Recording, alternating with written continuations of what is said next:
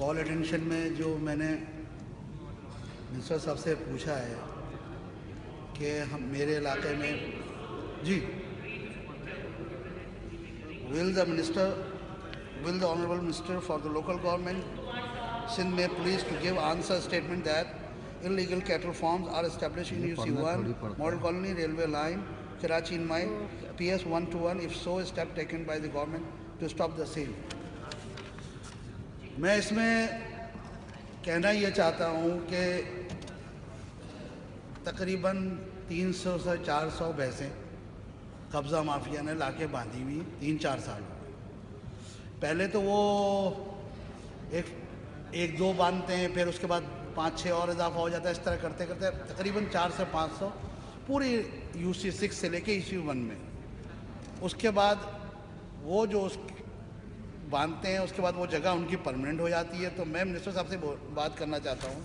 ये पूछना, क्या उनको इजाज़त दी गई है कि रिहायशी इलाकों में कब्ज़ा भी कर लें और कैटल फॉर्म भी बना लें और बिज़नेस भी शुरू कर दें और उनको कोई रोकने वाला नहीं?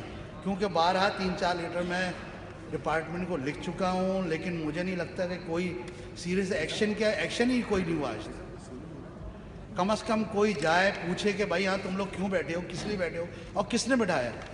यकीनन वहाँ की पुलिस भी इन्वॉल्व है। डिपार्टमेंट में इन्वॉल्व है। बगैर पुलिस के और डिपार्टमेंट के तो कोई एक इंसान जो आम आदमी है, वहाँ एक दीवार खड़ी करता है तो उसको के वाले या के वाले आके तोड़ देते हैं।